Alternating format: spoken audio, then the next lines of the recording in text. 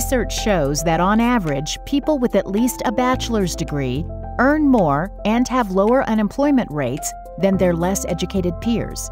The economic benefits of higher education can also vary substantially based on individual characteristics, such as one's occupation, sex, race, and ethnicity. A new spotlight from the condition of education on the benefits of higher education uses data from the Census Bureau's American Community Survey. It explores labor force outcomes of 25 to 34 year olds with a bachelor's or higher degree. In 2014, close to 90% of young adults with at least a bachelor's degree were employed, either full or part time.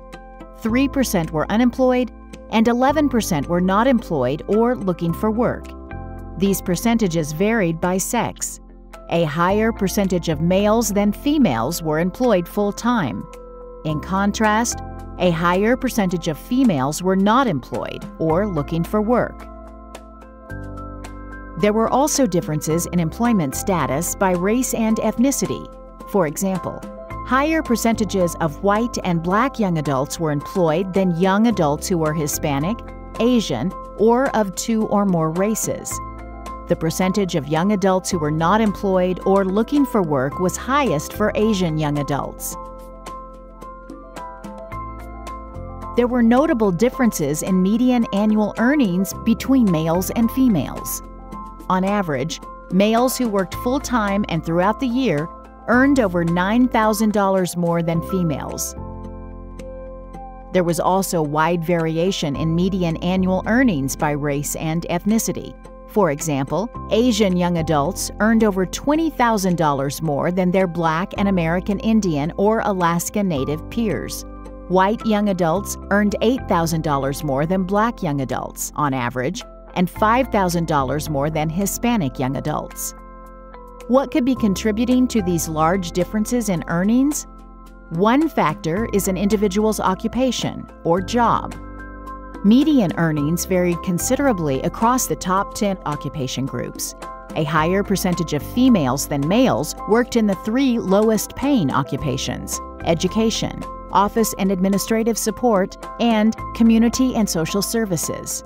On the other hand, a higher percentage of males worked in the three highest paying occupations architecture and engineering, computer and mathematical, and management.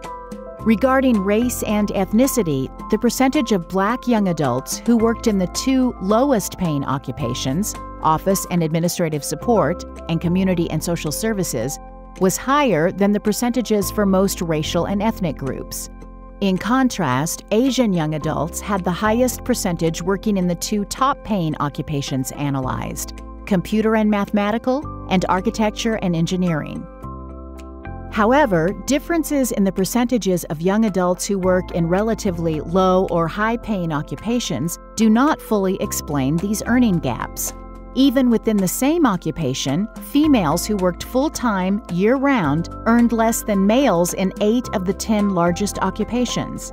In the remaining two occupation groups, education and community and social services, the median earnings of males and females were not statistically different. With respect to race and ethnicity, black and Hispanic young adults generally earned less than white and Asian young adults across occupations. For example, Asian young adults working in computer and mathematical occupations earned 79,000 on average, and white young adults earned 67,000. However, Hispanic and black young adults working in these occupations earned 63,000 and 55,000 respectively. This analysis highlights variation in the economic benefits of higher education. Despite the differences in outcomes described here, it is clear that there are many short and long term benefits of completing a college education.